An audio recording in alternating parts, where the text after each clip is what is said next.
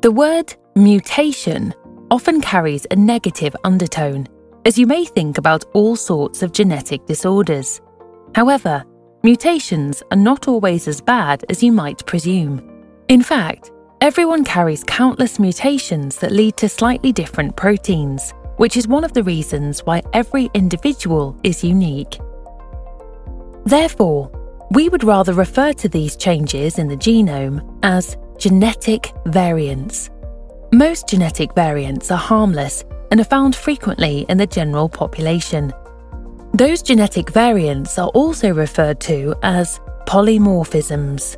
However, some genetic variants are harmful and may cause disease.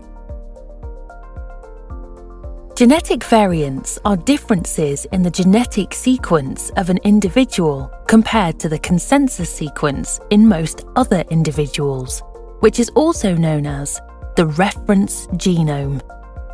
Genetic variants come in different lengths, sometimes just a single nucleotide, and sometimes bigger stretches of DNA. There are two main causes that give rise to genetic variants. First, they may arise spontaneously. Every time a cell divides, billions of nucleotides need to be copied, and mistakes inevitably happen. Second, changes in the genome can be caused by external influences that damage the DNA, such as certain chemicals or UV radiation. Fortunately, most mistakes in our DNA are rapidly repaired. The repair system is not foolproof, however, and some genetic changes remain. These are especially problematic in germ cells, as these genetic variants will be present in almost all cells that are derived from them. So, when is a genetic variant harmful and when is it not? By now, we know that our genome holds important information for all biological processes to enable the production of RNA molecules and proteins. This information is encoded in specific sequences, which genetic variants may disrupt. Let's take a look at some examples of how this happens. If the variant is located in the regulatory region of a gene, for example the promoter, gene transcription could be affected. As a consequence, the amount of mRNA and protein that is produced will be changed.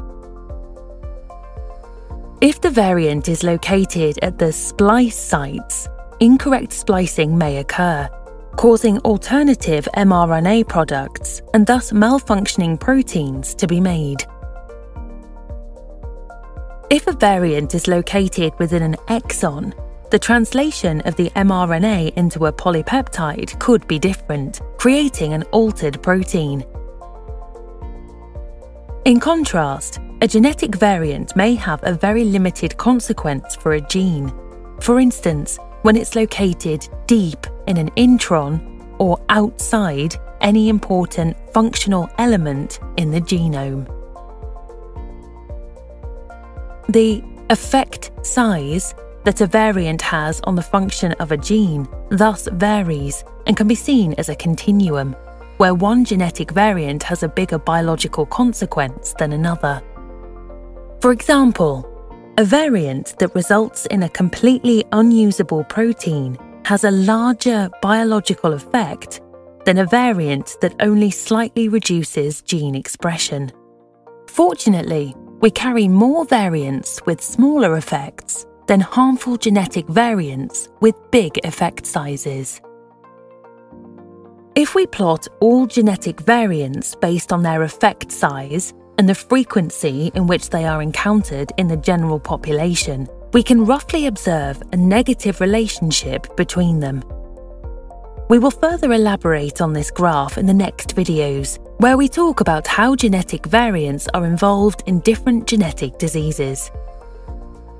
For now, be aware that genetic variants have different biological effects and sometimes result in severe disease as they affect important sequences in the genome.